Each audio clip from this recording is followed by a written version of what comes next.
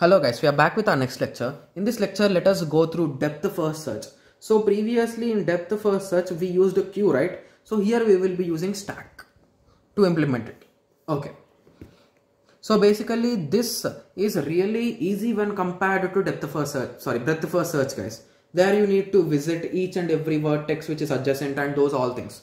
But here you will, sorry, but here you will be going in terms of depth. So here if there are multiple paths, previously from here you used to visit this and this one after the other. But here from here if you select this, from here you will be going to this like a particular path. You will be continuing till the end and if there is no path from there you will be returning back. Like it goes in depth and if there is a solution it will be going into in, in only and until it finds an issue or a loop then it will return back okay so you can select any vertex as starting visit one x adjacent vertex visit one y adjacent vertex. If not found come back and continue until you visit all the vertices. That's it. So initially you will be visiting a vertex x.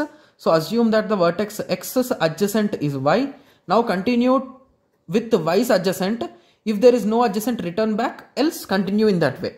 So this is a quite easy algorithm guys. So depth first search of vertex v.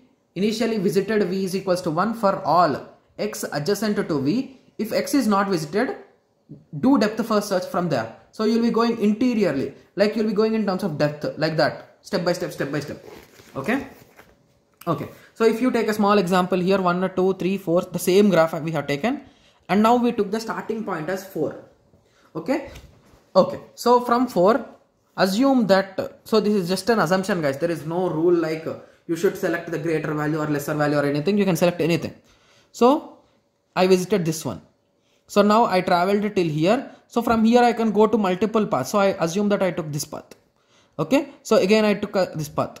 So again i took this path. Again i took this path. After that i took this path. Okay? But 8 is already visited right? From here if i want to go to 8 but 8 is already visited.